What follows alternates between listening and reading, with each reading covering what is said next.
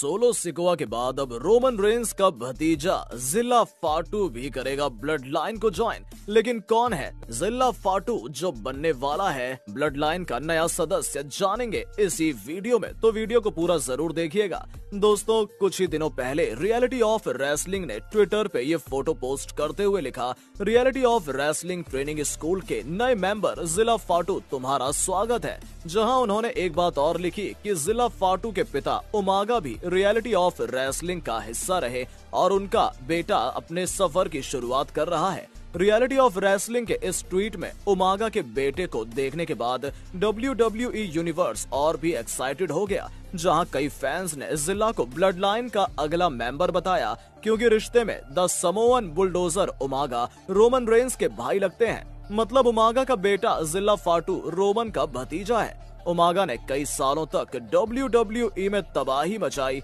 इसी वजह से उन्हें डब्ल्यू हिस्ट्री का सबसे खतरनाक इंटरकॉन्टिनेंटल चैंपियन माना जाता है। लेकिन दुर्भाग्यवश दिसंबर 2009 में हार्ट अटैक के कारण उमागा इस दुनिया को अलविदा कहकर चले गए। लेकिन अब उनका बेटा अपने रेसलिंग करियर की शुरुआत कर चुका है और 22 साल की उम्र में जिला ने ट्रेनिंग लेना भी शुरू कर दिया है। जब द उसोस को जिला फाटू के रेसलिंग स्कूल ज्वाइन करने के बारे में पता चला तो उन्होंने भी इस बात को पक्का किया कि आने वाले समय में उनका ये छोटा भाई भी ब्लड लाइन में शामिल होगा। दरअसल ट्विटर पर रियलिटी ऑफ़ रेसलिंग की इस ट्वीट का रिप्लाई देते हुए शेल्टन बेंजामिन ने लिखा, बधाई, और इस फैमिली बिज़नेस में तुम्हारा स्वागत है।